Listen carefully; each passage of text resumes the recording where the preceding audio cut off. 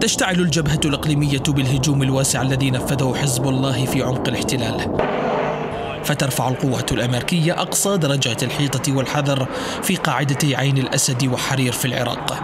حالة التأهب تضمنت تحليق طيران مسير وتعزيز القوات بمنظومات ردع تحسبا لهجوم مفاجئ قد تنفذه الفصائل كتوأمة محورية في الرد على هجمات الاحتلال الأخيرة التي استهدفت قائدا بحزب الله ورئيس المكتب السياسي لحركة حماس الشهيد إسماعيل هنية. هناك توعد من قبل الفصائل العراقية بأنها ستلتحم مع الجبهة اللبنانية إن حدث أي محاولة اعتداء بشكل صارخ. أي هناك هجوم شامل على آه، شمال فلسطين. ستكون هناك عملية رد أيضا من باقي الفصائل. أي عملية اختراق لأمن آه، تلك الجبهات سيكون أيضا هناك رد متقابل. ما زالت الردة الانتقامية مثل ما أعلنت إيران سابقا ستكون على عملية اغتيال هنية في طهران.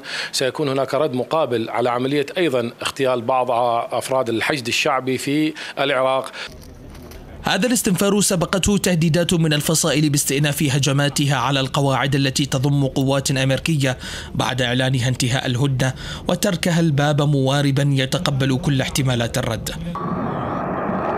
بالتزامن مع التوتر الحذر تعلق مفوضات إنهاء التحالف الدبلوماسية طاولاتها إلى إشعار آخر جاء ذلك بعد قصف عين الأسد والتطورات الإقليمية الأخيرة بأنه إذا كان هناك رد واستهدفت قاعدة عين الأسد أو أي قواعد أخرى كحرير في شمال العراق أعتقد أنها ستعرقل كثيرا إجراءات انسحاب القوات الأمريكية آه، من العراق، اليوم توجد آه، آه، حاملتي طائرات في الشرق الأوسط العديد من بوارج كثافة عددية بالنسبة للقوات القتالية الأمريكية موجودة أيضا في القواعد المنتشرة في الشرق الأوسط.